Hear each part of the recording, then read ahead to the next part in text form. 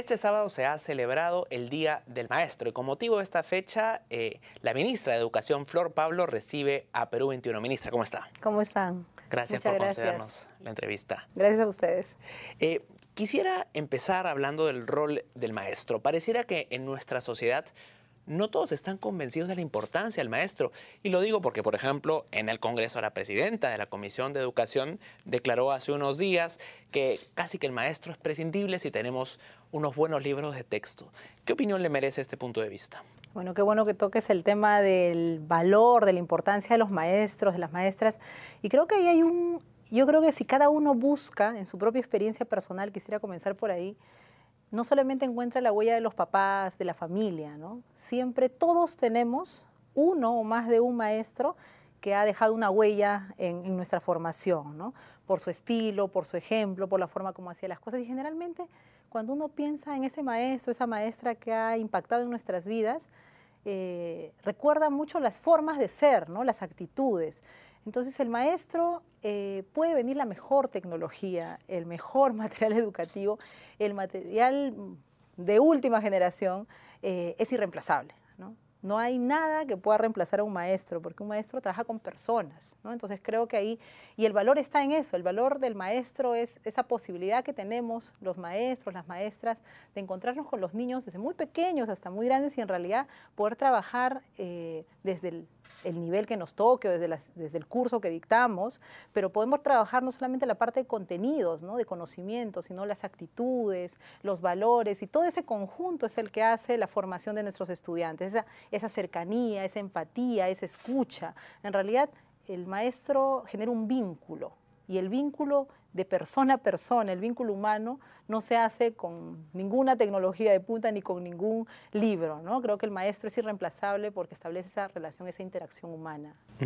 ¿Cómo entender entonces que como sociedad, siendo el maestro un elemento tan importante en la formación de ciudadanía, no solamente de estudiantes, sino de ciudadanos, ¿Cómo entender que eh, la carrera de maestro no sea remunerada en función a la importancia que tiene? Actualmente existe un piso de 2.200 soles, que si uno lo ve en relación a otros oficios es un sueldo relativamente bajo. Eh, ¿Cómo entender esta, esta paradoja, digamos? Claro, en realidad la valoración de la carrera docente tiene varios ámbitos. Uno de ellos efectivamente es el remunerativo y hay que seguir haciendo todos los esfuerzos como país para seguir mejorando el poder adquisitivo de los maestros, poder mejorando su situación económica, eso es muy importante. Pero no solamente es el tema de la economía, sino cómo la sociedad mira la función docente. Y creo que ahí tenemos un gran desafío. Y el desafío es justamente darle ese valor social, ese valor transformador que tiene la carrera y creo que ahí tenemos como sociedad un desafío. De alguna manera hemos responsabilizado al docente, al maestro, de todo lo que pasa. Si estamos bajos en aprendizajes es el maestro y tenemos que comenzar a mirarlo de manera sistémica. Si, estamos, si hay un problema de aprendizajes, no es solamente un tema del maestro, tenemos que mirar una las familias, la responsabilidad de las familias, los otros servicios. Y efectivamente el maestro cumple un rol fundamental en esa interacción con sus estudiantes y tenemos que recuperar esa valoración de ese actor que no es un actor que hace aspectos mecánicos, no, es el que enseña a sumar, a leer, a escribir, eso también se enseña, pero sobre todo acompaña en la formación de las personas, acompaña en el modelado de esa persona eh, esa buena persona que queremos que sean nuestros estudiantes, esos ciudadanos. El maestro es ejemplo. Creo que la mejor, eh, la mejor estrategia que puede tener un maestro para, para, enseñar y para que nuestros estudiantes aprendan es con el ejemplo. Entonces sí necesitamos que la sociedad no estemos en esta situación de culpabilizar al maestro, de victimizarlos, ¿no? ni de ponerlos como si fueran los villanos. Y creo que hemos estado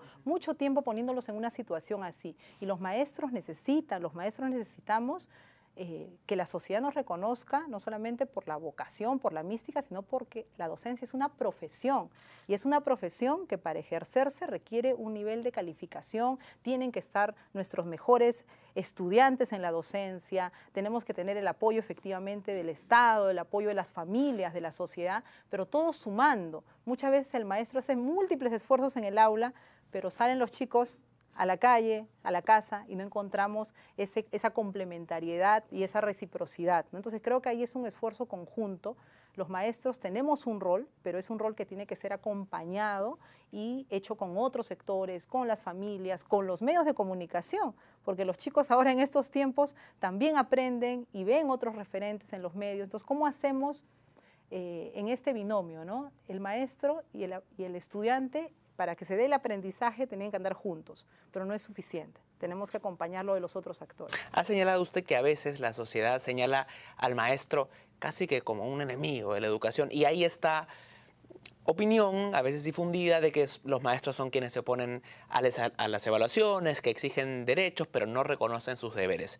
Usted es educadora, usted está en contacto permanente con los maestros. En su experiencia, ¿qué ha encontrado usted en la gran cantidad de maestros del Perú? A ver, qué, bueno que me hagas estas preguntas. El maestro eh, y las maestras que hay en el país, yo creo que en esencia hay un compromiso muy grande con la educación. Y si hay deficiencias en la formación inicial de los maestros, o sea, cuando nos estamos formando, esa también es responsabilidad del Estado. Y ahí yo sí quisiera señalar, por ejemplo, que un pilar importante ahora en mi gestión es cómo mejoramos la formación inicial de los maestros. Es decir, si queremos esos ciudadanos democráticos, esas, esas personas formadas integralmente, que tengan, eh, que aprecien la diversidad, que vean la inclusión como parte de la vida cotidiana, ¿cómo hacemos para tener un maestro que tenga también esas cualidades y pueda educar a nuestros estudiantes? Tenemos que prepararnos como Estado, como, como Ministerio de Educación para dar una mejor oferta formativa a nuestros maestros que están en formación. Y justamente esta semana hemos aprobado eh, la nueva propuesta, el nuevo plan de estudios para los maestros de inicial y de primaria. El 2010 fue la última vez que el Ministerio de Educación sacó una propuesta eh, de qué debieran de aprender los estudiantes de educación. Este, hemos aprobado una nueva currícula, una nueva mirada de lo que debe ser la formación de los maestros. Y creo que eso va a ser muy importante porque vamos a tener generaciones de maestros en mejores posibilidades de poder abordar una serie de temas. Pero mientras tanto, tenemos los maestros que están en ejercicio, con los cuales también tenemos que seguir trabajando. Y ahí yo quisiera mencionar eh, algo bien importante. En todas partes hay de todo, pero principalmente yo creo que no hemos, no hemos eh, aprovechado un valor que tiene la docencia. Hay miles de buenos maestros. O de verdad, yo he sido antes directora regional, antes he sido directora en el Ministerio de Trabajo, bastantes años ya en el sector, y lo que más he visto son maestros innovadores, con buenas prácticas, pero que terminan siendo esfuerzos aislados. Entonces, ¿cómo hacemos para que esos buenos maestros se conviertan en un gran movimiento pedagógico que justamente con esa buena práctica contagien a otros maestros y comencemos, vamos a decir, como dicen los muchachos, a viralizar la innovación pedagógica?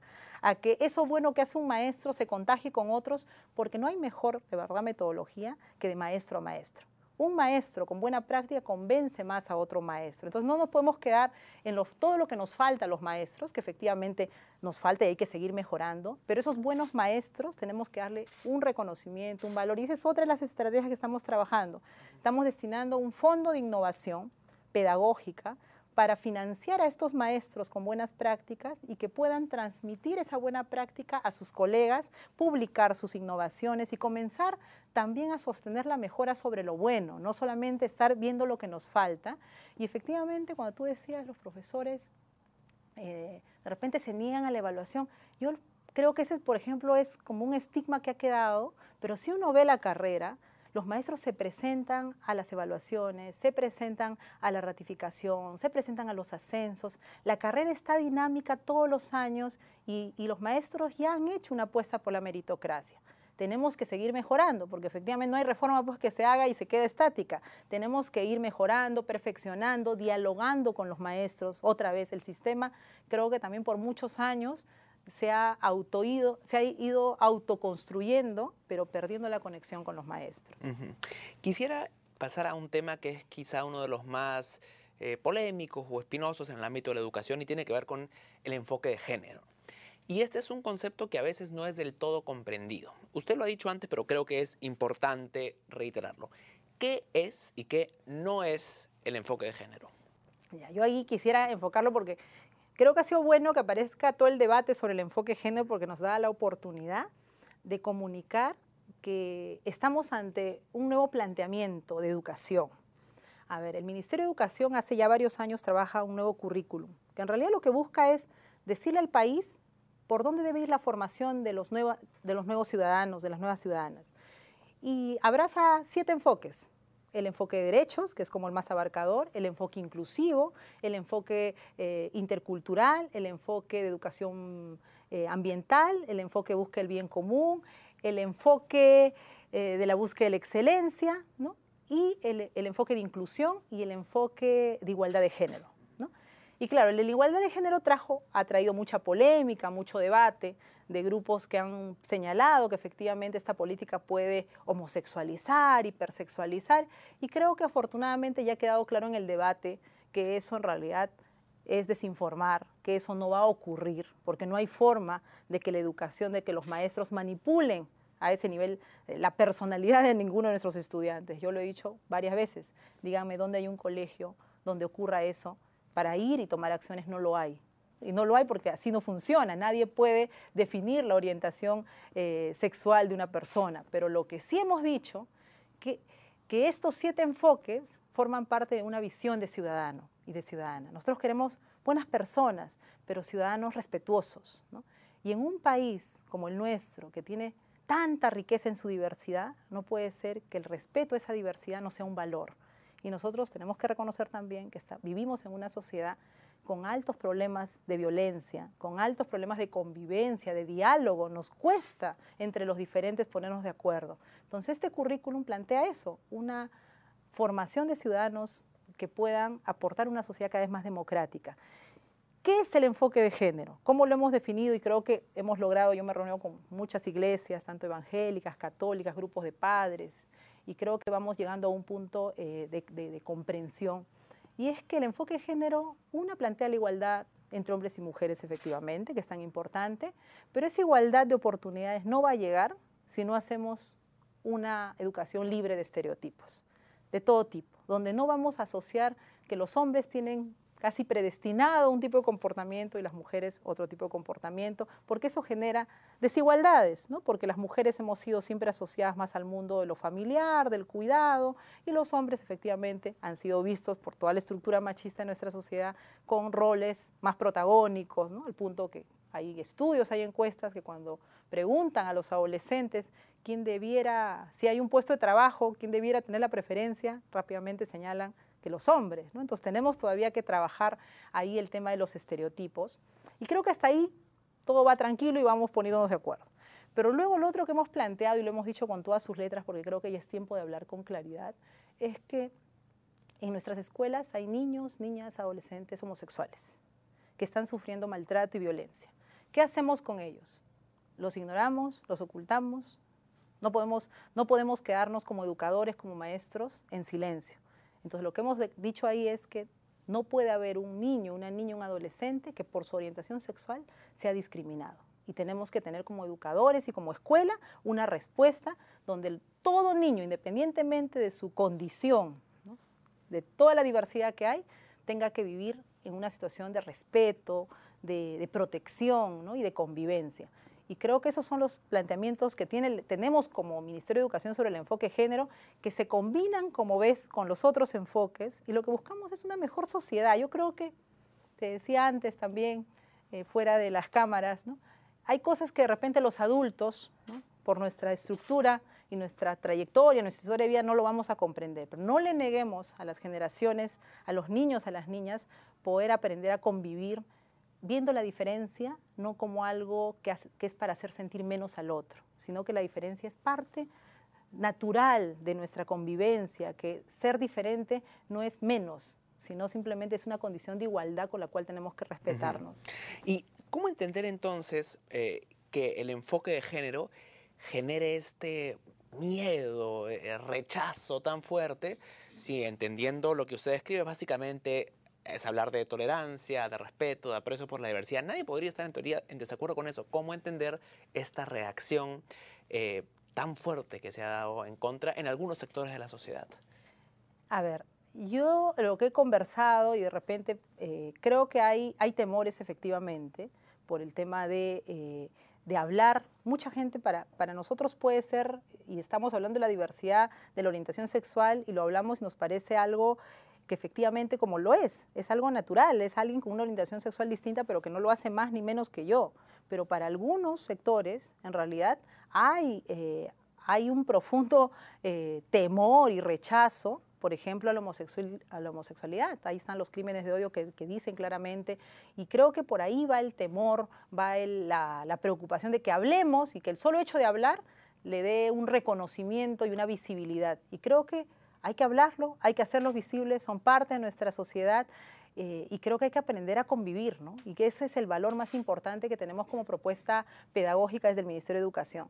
Tenemos que respetarnos todos, ¿no? Tenemos que respetarnos en todas nuestras diferencias culturales, lingüísticas, en general. Y ahí también tenemos que respetar, y especialmente porque ha sido un, un grupo, un sector bastante maltratado, marginado e invisibilizado. Hemos preferido no verlos. Entonces ahora le estamos dando un lugar y bueno, tendremos que vencer los miedos, tendremos que comenzar a hablar, a informarnos más. El Ministerio de Educación, de hecho, asume la responsabilidad de que tenemos que, informar más, porque hay muchos mitos, muchos temores, ¿no? Entonces creo que, eh, hay que hay que seguir avanzando, familias, escuelas, comunidad, abrazando esta idea de que nuestros hijos tienen que ser mejores que nosotros, ¿no? Tenemos que tener una sociedad mejor, cada vez... Eh, eh, donde nos sintamos seguros, donde no tengamos miedo de que nuestros hijos salgan o qué le va a pasar en el colegio, generar entornos seguros, amables, ¿no? Y eso solo lo vamos a hacer respetándonos, ¿no? Yo creo que los temores que puedan tener, bueno, habrá que seguir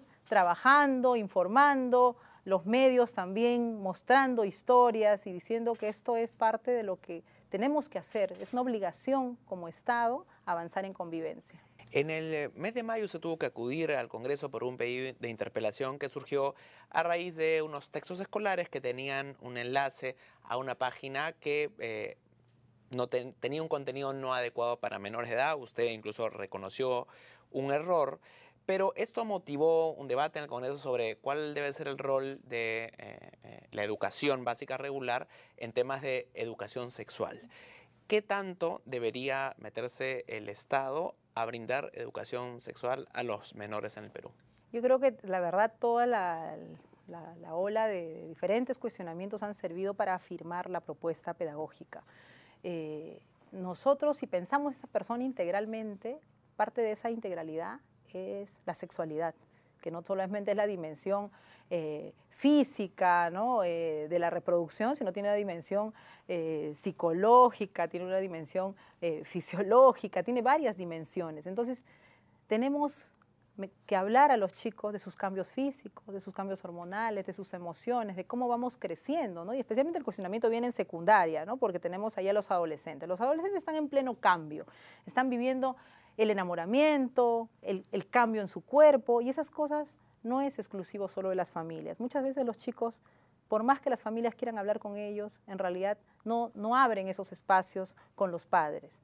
Tenemos como educación la obligación de generar esos espacios de información, de orientación a nuestros estudiantes y creo que todas eh, estas eh, citaciones a la Comisión de Educación, la propia interpelación ha servido para afirmar que el Estado tiene, es el rector en educación el Ministerio de Educación define las políticas. Definitivamente el Congreso tiene un rol y nosotros acudimos y vamos a las comisiones, damos las explicaciones, pero el Ministerio de Educación cuando plantea su propuesta pedagógica, cuando plantea sus políticas educativas, no lo hace de manera antojadiza, lo hace en el marco una, del respeto a los derechos humanos, en el marco de los acuerdos internacionales, en el marco de nuestra constitución política, en el marco de la Ley General de Educación.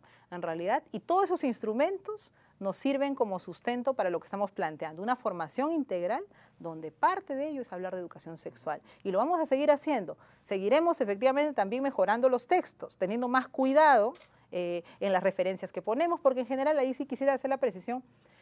El texto en su conjunto o sea, uno lee el texto y no hay, no hay una información inapropiada. Lo que hay es, claro, efectivamente, dentro del texto un link que nos lleva a un blog. Un blog sobre el cual no tenemos control, que hoy día puede tener una información, mañana otra. Entonces, hay una rigurosidad en el citado que tenemos que mejorar. Estamos con una comisión eh, trabajando, una comisión de diversos actores, de, con representación de la iglesia, de académicos en general, trabajando cómo mejoramos contenidos y procesos de elaboración. Eso es algo que se viene, ya tenemos un informe próximo a cerrar la siguiente semana y, y con eso vamos a hacer, la verdad, un replanteo de la política de dotación de textos. Para mejorar, para acompañar, el texto es una herramienta, es una herramienta que sirve al maestro pero el mayor énfasis, así como mejorar los textos, pero nuestro mayor énfasis por encima de los textos está cómo mejorar el desempeño de nuestros maestros, cómo alentar a esos buenos maestros y seguir con la reforma de llevar una educación cada vez más integral, una educación ciudadana, eh, porque es lo que, lo, que nos pide, lo que nos pide la realidad. Si uno sale a la calle y ve los periódicos, ve todas las noticias y todo lo que nos dice es necesitamos trabajar esa formación integral porque nuestra convivencia se está haciendo insostenible. Ahora, muchos de eh, los críticos del enfoque de género y de la educación sexual lo hacen por convicciones, en muchos casos, religiosas. Y teniendo en cuenta que tenemos, vivimos en un estado laico, eh, ¿qué rol, si alguno, debiera tener eh, la religión o las religiones que hay en Perú en la educación, en la, en malla curricular, en los contenidos de los libros de texto? En realidad nosotros planteamos el modelo pedagógico, los materiales desde ese concepto. La educación es, es efectivamente eh, una educación que busca una ciudadanía, una educación laica. Eh, hay colegios efectivamente que son incluso llevados, y voy a poner el ejemplo de Fe y Alegría con los cuales trabajamos, y son los que hace años trabajan el enfoque de igualdad de género. Siendo un colegio católico. Siendo un colegio que nosotros trabajamos en, alianza con, eh, con, la Iglesia Católica, y así como hay muchos colegios católicos y evangélicos, en realidad aquí no es un tema de iglesias, porque yo creo que cuando las iglesias entran como promotores, como cogestores en la educación, o sea, el principio que está por encima del, del credo y de lo que cada iglesia pueda tener como planteamiento es la formación integral para un ciudadano de un país que tiene una apuesta y nuestra apuesta es, somos una república. Nuestra apuesta es la democracia y creo que para eso tenemos que sumarnos. Yo, como te decía, me he reunido con varias iglesias y en realidad vamos encontrando esos puntos en común. O sea, efectivamente hay credos, hay, hay, hay religiones, pero eso no puede ir por encima de lo que significa formar integralmente y plantear un ciudadano democrático y trabajar para ello. Quisiera pasar al tema de, eh, de educación universitaria. Eh, la SUNEDU está haciendo una labor de acreditación, producto de la cual 10 universidades han perdido su licencia, van a tener que dejar de operar. Y esto, eh, que es un esfuerzo importante por mejorar la calidad de la educación superior, también trae la pregunta de qué va a suceder con los alumnos que están en esas universidades y surge también la pregunta de a qué tipo de educación van a acceder ahora. Lo digo porque algunas de estas universidades pueden llegar a cobrar incluso hasta eh, mensualidades de 250 soles. Estas universidades cierran y el estudiante por, esta misma, por este mismo precio no va a encontrar una, una universidad a la que pueda acceder y en muchos casos la universidad pública no se da abasto para toda esta demanda. ¿Cómo enfrentar este reto que viene como consecuencia de tratar de mejorar la calidad educativa? Sí, mira, qué bueno que toques el tema. Creo que un asunto transversal es la calidad, ¿no? tanto en la básica como en la superior. En la básica hemos venido efectivamente creciendo en cobertura ampliamente en todos los niveles de inicial, primaria y secundaria, pero todavía tenemos ahí el desafío de la calidad. Antes de responderte de educación universitaria, quisiera apuntalar esta idea, ¿no? Y la calidad pasa eh, por efectivamente tener aprendizajes que le sirvan a la gente, que le sirvan a los chicos, pasa por tener mejores maestros, hacer esta mejora de los aprendizajes con los mejores maestros, poder tener escuelas cada vez más acogedoras, cada vez más ciudadanas y, avanzar en calidad. Ese es el gran desafío, especialmente en nuestras zonas rurales, en nuestras zonas bilingües y especialmente con los adolescentes y jóvenes que se han quedado fuera de la escuela. Entonces, la calidad es un desafío en la educación básica y en la educación superior lo es también en tanto forma los futuros profesionales y técnicos. Y hemos entrado con fuerza con el tema de la reforma universitaria, que creo que ha dado la entrada a todo este tema de planteamiento de condiciones básicas de calidad. Y ahí eh, creo que el principio estamos todos de acuerdo, así como con la docencia es la meritocracia, en la educación superior es las condiciones de calidad. Y efectivamente ya hay que cuidar a un actor, y siempre es, es el estudiante. ¿no? Entonces, nosotros hemos tomado todas las medidas, una vez que uno no le otorga el licenciamiento, eh, la universidad tiene dos años, o sea, no es un cierre inmediato. Y luego lo que estamos viendo ahora, eh, estamos trabajando eh, para un decreto supremo para ver cómo generamos justamente algún mecanismo de compensación cuando no podamos, cuando este alumno, como bien planteas tú, estaba pagando una cantidad en una pensión ¿no? y luego tiene que trasladarse a otra, eh, ¿cómo, ¿cómo generamos que el producto del cierre no afecte al estudiante? Estamos trabajando medidas para ellos, pero en principio ahorita estamos trabajando con varias universidades para hacer esos traslados y esas convalidaciones. La SUNEDU está acompañando este proceso junto con, eh, con, el, con el Ministerio de Educación y ahí en realidad en esa ruta también entran los institutos los institutos tecnológicos y los institutos pedagógicos. En realidad las condiciones básicas de calidad se dan tanto para el mundo universitario como para el mundo de la educación técnica, los institutos tecnológicos y los pedagógicos. Este año, por ejemplo, ya hemos venido licenciando, de hecho, varios institutos tecnológicos privados, pero en este año tenemos una meta con los públicos. Queremos licenciar institutos y vamos a licenciar eh, más de 10 institutos para comenzar públicos, porque necesitamos que esas condiciones de calidad en la educación superior no solamente se quede en el mundo universitario, sino también entre el mundo de lo técnico, porque nuestro país para avanzar en su desarrollo necesita, eh, por las características de, nuestro, de nuestra productividad, necesita más técnicos. Entonces estamos poniendo un énfasis muy fuerte en el tema de eh, los institutos de excelencia. Estamos planteando tener 26 institutos de excelencia, uno por cada región, muy amarrado al tema de la competitividad. Las regiones tienen sus planes de, eh, de desarrollo productivo, tienen sus planes de competitividad. Entonces, ¿cómo hacemos para salir de las carreras tradicionales a carreras que nos pide el desarrollo productivo de cada región? Si hay un desarrollo energético, minero, necesitamos carreras o la agroindustria en muchas de nuestras regiones, ¿cómo hacemos para tener un instituto potente para que pueda ofrecer calificación profesional técnica a sus jóvenes en esas regiones? Entonces, estamos trabajando en esa ruta eh, y el principio, como bien los ha dicho, es la calidad. O sea, necesitamos calidad en el, todo el sistema educativo. ¿no? Y eh, yo quisiera mencionarte también que en esta idea de lo tecnológico y de esta educación que sirve para la vida de la gente, nosotros tenemos un tema con los adolescentes, que no solamente son estos temas que hemos conversado de la educación integral, la educación sexual, eh, sino el tema de, hay mucha deserción, está aumentando la deserción con los adolescentes. Entonces, ¿cómo hacemos para que la secundaria tenga sentido. Para muchos sectores, te digo ahí, de 10 estudiantes, 4 van a la educación superior. De hecho, tenemos que seguir ampliando oferta pública en educación superior para que vayan más jóvenes, pero no, eso no resuelve el problema. En realidad, muchos adolescentes se van de la secundaria porque necesitan trabajar. Entonces, tenemos que hacer que esa secundaria venga con una doble certificación.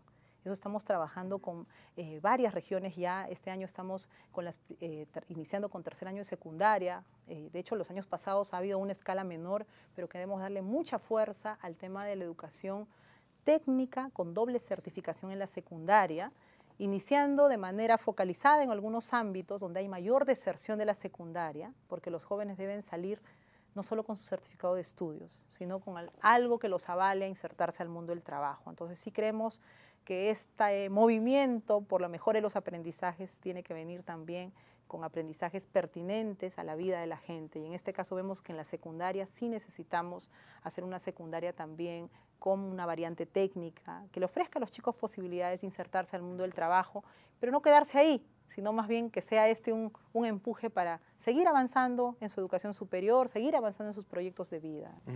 quisiera, quisiera hacerle una pregunta más a un nivel eh, personal. Me contaba que usted nació en un caserío muy cerca del distrito de San Marcos, esto es la provincia de Huari, en Ancash. Eh, y quisiera preguntarle, para usted, ¿cómo la educación la ayudó a salir adelante, a cumplir sus metas y a llegar a donde está ahora?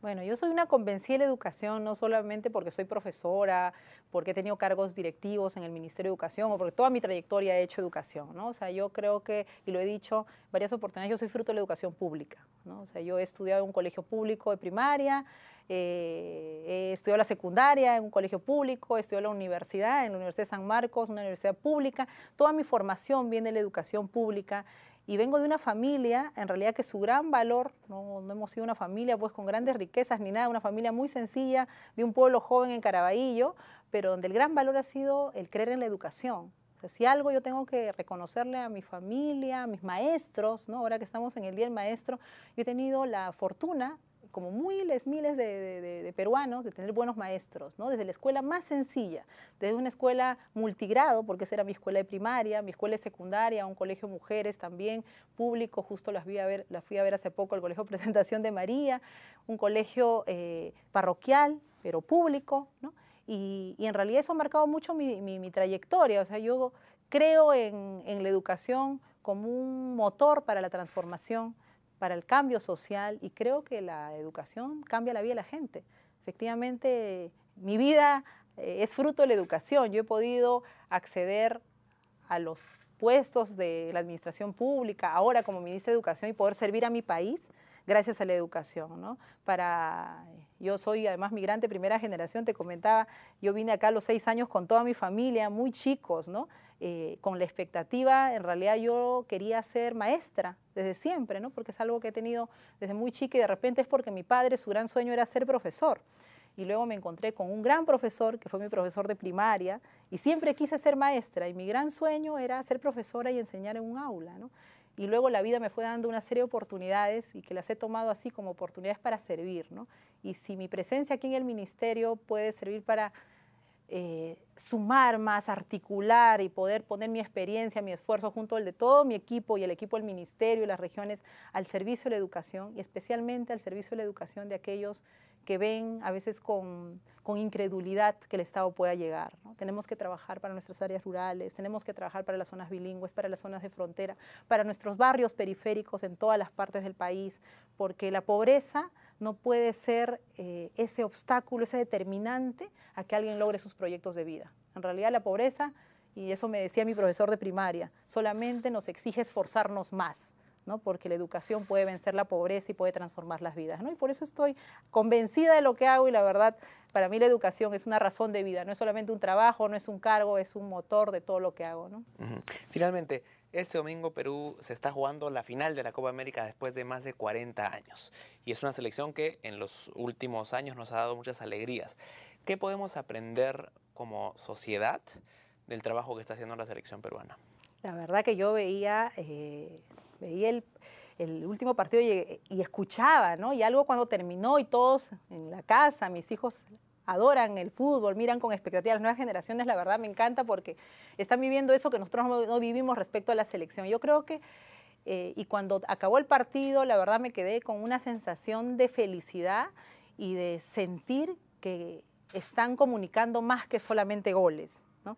Nos están comunicando que como país, cuando nos unimos, podemos conseguir grandes cosas, que cuando dejamos un ratito de brillar como individualidades y nuestro brillo contagia al equipo, ese equipo puede efectivamente meter tres goles y meter seguramente más goles y traernos un triunfo, un éxito y una felicidad, no de solo de un equipo, ni de una selección, ni de una federación, es una, la felicidad de un país, de una nación que no solo está en este territorio. Mira, todos los peruanos en el extranjero han saltado, han celebrado y creo que ese es el mensaje que tenemos que quedarnos, que nos trae la selección, ¿no? Hay que trabajar en equipo, hay que esforzarnos, un 5 a 0 no nos paralice, al contrario, nuestras dificultades son un impulso para ganarle a, las debilidades que hayamos podido tener y hay que ser entre nosotros colegas, compañeros y, sumar nuestras fortalezas y nuestros talentos para que gane el Perú. ¿no? Yo creo que de verdad la selección nos está dando un mensaje bien poderoso lo que tenemos que hacer como nación. Hay que unirnos, hay que dejar nuestras diferencias un ratito,